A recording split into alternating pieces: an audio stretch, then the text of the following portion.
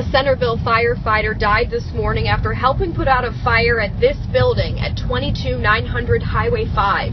The fire started around 7:30 Friday evening, and the building was fully engulfed in flames.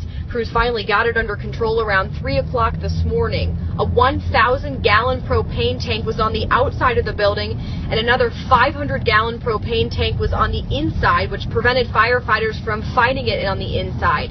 Firefighters from several surrounding departments helped out. Some were on scene for 14 hours trying to get the fire out. The 300,000 square foot building has campers, pickups, and tractor trailers stored inside and is considered a total loss. No word yet on a cause. In Centerville, I'm Kim St. Onge.